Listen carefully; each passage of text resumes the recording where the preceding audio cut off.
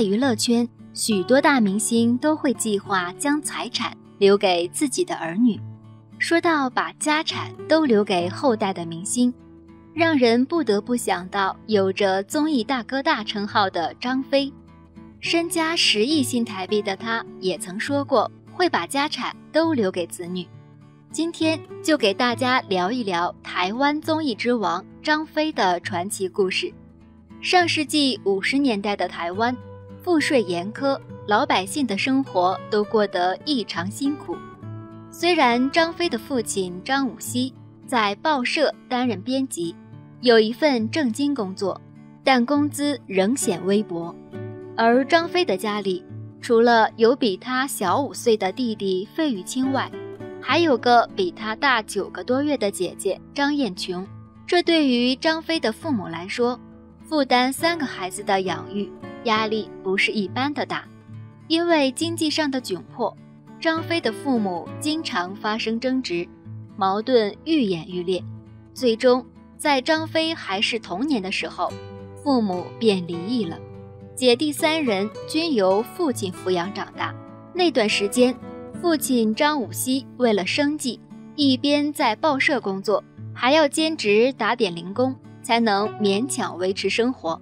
尽管家境穷苦，张爸爸仍希望孩子接受教育。为了给子女筹集学费，他不惜变卖家产。后来，张飞他们长大后，张爸爸回忆起这段难忘的岁月，曾感慨地说道。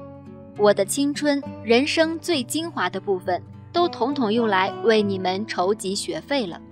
作为父亲，张武熙十分重视三个孩子的学业。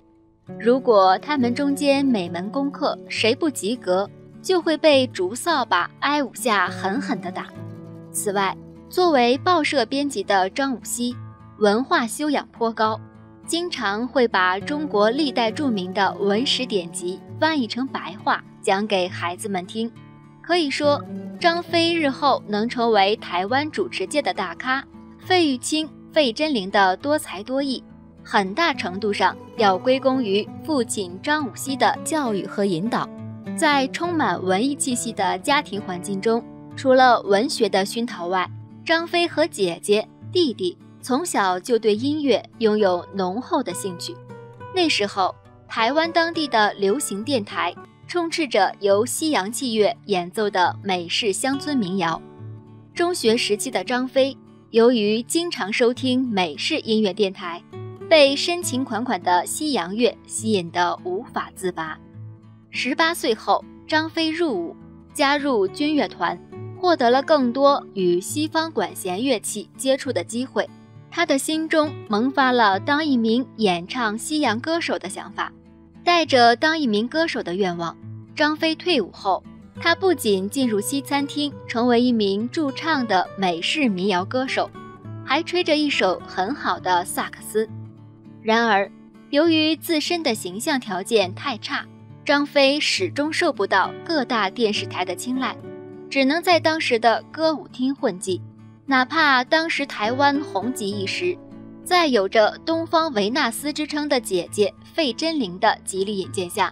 也屡屡在业内吃到闭门羹，得不到出头的机会。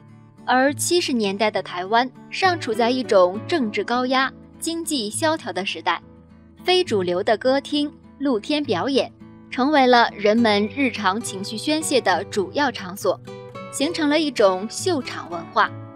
虽然这些地方算不上大雅之堂，但其中的红人各处走场，腰包也是装得鼓鼓的。